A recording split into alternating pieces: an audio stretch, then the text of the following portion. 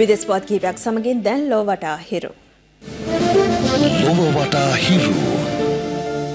තායිවන්න ප්‍රජාතන්ත්‍රවාදී ප්‍රගතිශීලී පක්ෂයේ නායිකා සායි ඉංවෙන් අද පැවති ජනාධිපතිවරණය ජයග්‍රහණය කළා. සායි සීට පනස් අටයිදශම එකක චන්ද ප්‍රතිශතයක් හිමි කරගත් අතර ඇගේ ප්‍රතිවාදියා වූ පාලක KMT පක්ෂයේ එරික් චූ ලබා ගත්තේ සියයට තිස් දෙක දශම පහක චන්ද ප්‍රතිශතයක් පමණයි. ඒ අනුව සායි ඉංවෙන් තායිවානයේ ජනපති පදවියට පත් ප්‍රථම කාන්තාව ලෙස සැලකෙනවා. බටහිර අප්‍රිකානු රටක් වන බර්කිනා ෆාසෝහි සුකෝපභෝගී හෝටලයක ඉස්ලාමීය සරන්කාමින් විසින් ප්‍රාණපයට ගන්නා ලද පිරිසෙන් එකසිය විසිහය දෙනෙකු මුදා ගැනීමට ආරක්ෂකංශවලට හැකි වුණා. ගැටුම් අතරතුර ජීවිතක්ෂයට පත් වූ සංඛ්‍යාව විසිතුනක්. ඉන්දියාවේ උතුරු ප්‍රදේශවල පැතිර යන ඝන මීදුම් තත්ත්වය හේතුවෙන් ජනජීවිතයට බලපෑම එල්ල වී තිබෙනවා. එරට වාර්තා පවසන්නේ මේ තත්ත්වය මත ප්‍රවාහන දුෂ්කරතාද මතු බවයි. ඉතාලි පෙරලාරක්ෂක බටින් අනවසරයෙන් යුරෝපයට සංක්‍රමණය වීම සඳහා පැමිණි එකසිය තිස් එක් දෙනෙකු මුදාගෙන තිබෙනවා. ගෙවී ගිය සති දෙක තුළ පමණක් අනවසර සංක්‍රමණිකයින් ජීවීන් එක්දා සත්සයකට අධික පිරිසක් මෙලෙස මුදා ගැනීමට හැකි වූ බව ඉතාලි බලධාරීන් පවසනවා. ඉන්දිය හා ජපාන වෙරලාරක්ෂක බටින් දකුණු චෙන්නයි මුහුදු තීරයේ ඒකාබද්ධ නාවික අභ්‍යාසයක නිරත වුණා. දෙරට අතර සහයෝගීතාවය වර්ධනය කර ගැනීම මෙහි අරමුණයි. දෙරට එක්ව පවත්වන පහළොස්වන ඒකාබද්ධ නාවික අභ්‍යාසය මෙයයි. ලොව වටා හිරු. දැන් ස්පෝර්ට්ස් කෝනර් ලබන මාර්තු මාසයේදී ඉන්දියාවේ පැවැත්වෙන පන්දුවාර 20 ලෝක කුසලාන ක්‍රිකට් තරඟාවලියේ ශූරයන්ට පිරිනමන කුසලානය අද ශ්‍රී ලංකාවට රැගෙන ආවා. ඒ එම කුසලානය ලෝවට රැගෙන යාමේ තවත් අදියරක් ලෙසින් පන්දුවර් විස්ස ක්‍රිකට් ලෝක කුසලානය ලෝවට රැගෙන යාම පසුගිය දෙසැම්බර් 13 වනදා ඉන්දියාවේ මුම්බයි නුවරින් ආරම්භ වුණා. එය ක්‍රිකට් ක්‍රීඩා කරන රටවල් 12කට රැගෙන යාමට නියමිතයි. එහි නවවන නැවතුම් පොළ ලෙසයි අද දිනේදී ශ්‍රී ලංකාවට පැමිණියේ. පන්දුවාර 20 ක්‍රිකට් ලෝක කුසලානය ශ්‍රී ලංකාවට නිල වශයෙන් බාර දීමේ උත්සවය පැවැත්වුණේ අද පසුරුවේ රීඩ් මාවත තුරංග තරඟ ක්‍රීඩා පිටියේදී. ඒ ක්‍රීඩා මාත්‍ය දෑසිරි ජයසේකර මහතාගේ ප්‍රධානත්වයෙන් මෙම අවස්ථාවට වත්මන් පන්දුවාර 20 ක්‍රිකට් ශූරීන් වන ශ්‍රී ලංකා කණ්ඩායමේ සමාජිකින් එක්ව සිටියා. දින තුනක් පුරා මෙම ක්‍රිකට් ලෝක කුසලානය ශ්‍රී ලංකාවේ ප්‍රදර්ශනය කිරීමට නියමිතව තිබෙනවා. එය හෙට පසුරුවේ ගාලු මූදුර පිටියට රැගෙනීමට නියමිතයි. පස්වර තුනේ සිට රාත්‍රී 7 දක්වා ක්‍රීඩා ලෝලීන්ට එය නැරඹීමට අවස්ථාව උදාවන බවයි ශ්‍රී ලංකා ක්‍රිකට් ආයතනය පවසන්නේ. අනතුරුව එය අනිද්දා දිනේදී ශ්‍රී ලංකා ක්‍රිකට් ආයතනයට රැගෙන ඒමට නියමිතව තිබෙනවා. ලෝ වටා සංචාරය කරන පන්දුවාර 20 ක්‍රිකට් ලෝක කුසලානයේ මිළඟ නැවතුම් පොළවන්නේ නවසිලන්තයයි. මේ අතර ක්‍රීඩකින් මුදලට තරඟ පාවා දීම සම්බන්ධයෙන් කිසිදු පරීක්ෂණයක් සිදු නොවන බව ක්‍රීඩා මාත්‍ය දෑසිරි ජයසේකර මහතා පවසනවා. සිදුවන්නේ මුදලට තරඟ පාවා දීම සම්බන්ධයෙන් සිදුවන පරීක්ෂණ සඳහා ක්‍රීඩකින්ගෙන් කට උත්තර ලබා ගැනීම පමණක් බවයි ක්‍රීඩා අමාත්‍යවරයා වැඩිදුරටත් පවසන්නේ. පන්දුවාර විස්ස ක්‍රිකට් ලෝක කුසලානය ශ්‍රී ලංකාවට බහර දීමේ නිල උත්සවයෙන් අනතුරුව මාධ්‍යවේදීන් නැගූ ප්‍රශ්නයකට පිළිතුරු ලබා දෙමින් අමාත්‍යවරයා මේ බව පැවසුවා. මම පැහැදිලිව කියන්න කැමතියි ලංකාවේ ක්‍රිකට් ක්‍රීඩා කරන වර්තමානයේ කිසිම ක්‍රීඩකෙක් ලංකාව පාවා දීම සඳහා තරඟ පාවා දීම සඳහා කිසිදු ආකාරයක ක්‍රියා කරලා නැහැ. විවිධ චෝදනා ගන්නාවක් තියෙන ඔවුන්ගෙන් කට උත්තර ගත්තේ මේ පරීක්ෂණ සාර්ථක කරගන්න මිසක ඔවුන් වැරදිකාරයෝ නිසා නෙවෙයි. හැබැයි ඔවුන්ව පොළවා ගන්න හදපු අයට විරුද්ධව නීතිය ක්‍රියාත්මක විය යුතුයි. අන්තර් සමාජ ලීග් රග්බි තරඟාවලියේ දෙවන වටේ තරඟ අද ආරම්භ වුණා. අපි දැන් සූදානම් මේ පිළිබඳ තොරතුරු ඔබ වෙත ගෙන එන්නට. හැබ්ලෝ ක්‍රීඩා සමාජය සහ ගුවන් හමුදා ක්‍රීඩා සමාජය අතර තරඟය පැවැත්වුණේ රත්මලාන ගුවන් හමුදා ක්‍රීඩා පිටියේදී.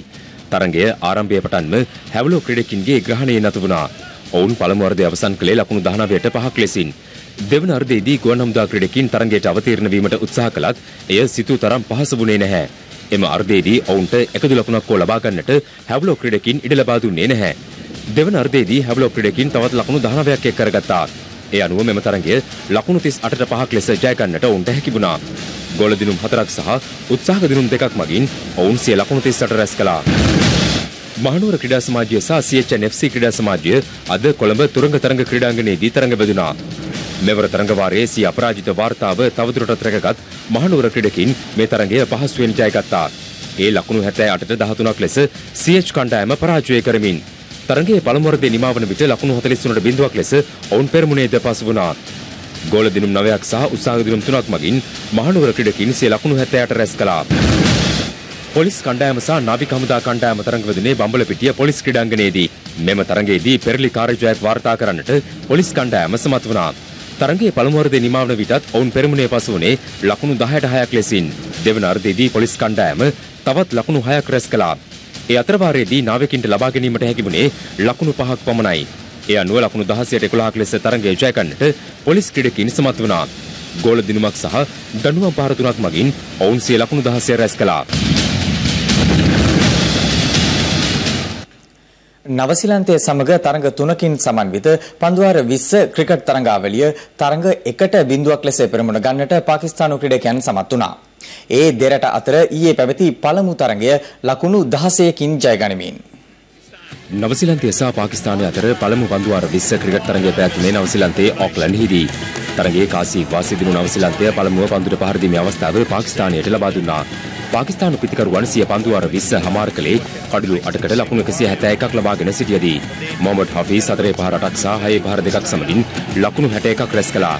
උමාර් අක්මාල් ලකුණු විසි හතරයි. පන්දු යැවීමේදී ඇඩම් මිල්නේ කඩලු හතරක් ගිනිහිලුවා.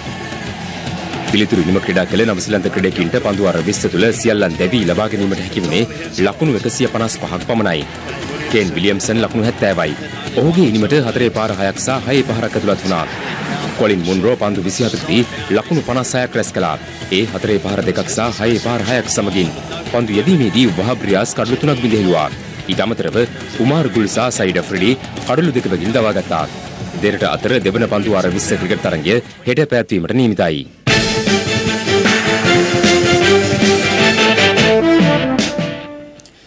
ත්‍රාසය සහ වේගය මුසු වූ ඩකා රැලියේ 12 වන අධීරයේ තොරතුරු ඔබට කියන්නටයි අපේ මේ සුදානම.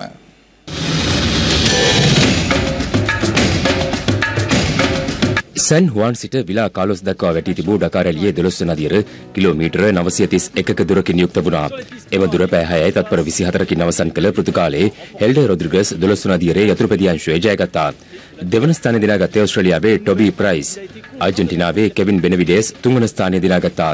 යතුරුපැදි අංශයේ ශූරතා ලකුණු සටහනේ පැහැදිලි වාසියක් සමගින් තවමත් පෙරමුණේ පසුවන්නේ ඕස්ට්‍රේලියාවේ ටොබි ප්‍රයිස්. ෆින්ලන්ත ක්‍රීඩක මිකෝ හිර්වෝනන් ඩකා රැළියේ 12 වන අදියරේ මෝටර රථ අංශය ජයගත්තා.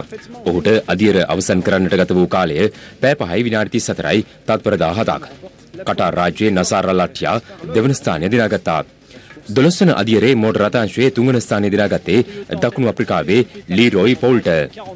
ප්‍රංශයේ ස්ටෆාන් පීට් හැන්සල් තවදුරටත් මෝටර රථ අංශයේ ශූරතා ලකුණු සටහනේ පෙරමුණේ පසුවනවා. ඩකා රැළියේ 13 වන අදියර අද පැවැත්වෙනවා. එම අධිරයේ දුර දැක්වෙන්නේ කිලෝමීටර 699ක් ලෙසයි.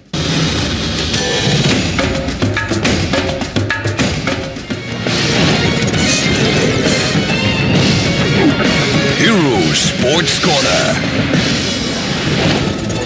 මේ සූදානම හිරු රාත්‍රී 9:30න් සමුගෙන යන්න. පැතක් නැතුව ඇත දැන ගැනීමට ඔබගේ ජංගම දුරකථන ජාලය අනුව තිරේ දිස්වන පරිදි හිරු ප්‍රවෘත්ති සේවාව සක්‍රිය කරගන්න. අපි යලි හමුවන්නේ හෙට රාත්‍රී 7ට. සුබ රාත්‍රියක්. Thank you.